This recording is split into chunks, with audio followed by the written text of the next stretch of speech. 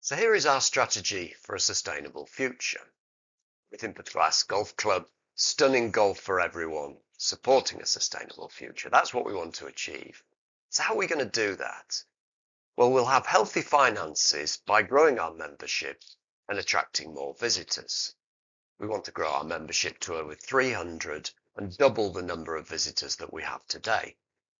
By doing this, we can keep our membership fees affordable, manage rising costs, and we can continue to invest in the course and the facilities.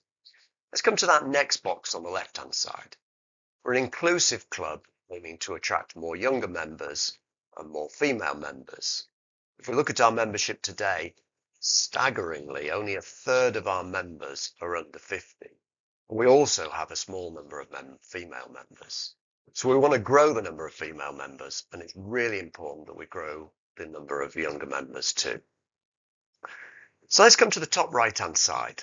We'll invest to improve our course and our facilities. We have a great course in a great location, but we want to continue to invest in it, in the course and in our facilities, so we can give the best possible golfing experience for existing members and attract new members too. Let's come to the next box on the right-hand side. We'll develop partnerships with local businesses, local sports clubs, and the community.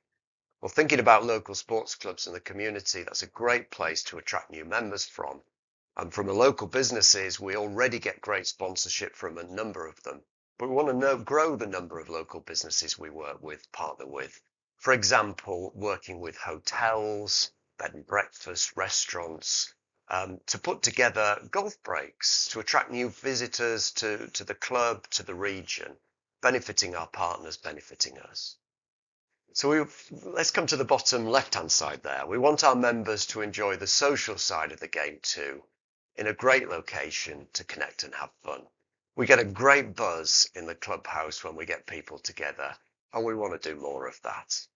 Finally, we will protect the environment and our course, playing our role in ensuring a sustainable future.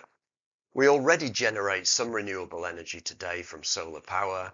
We want to do more of that. We want to become net zero or even generate more renewable energy than we use.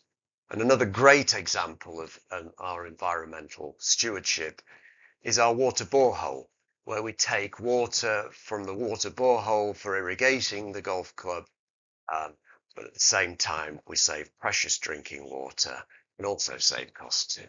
So that's our strategy for a sustainable future.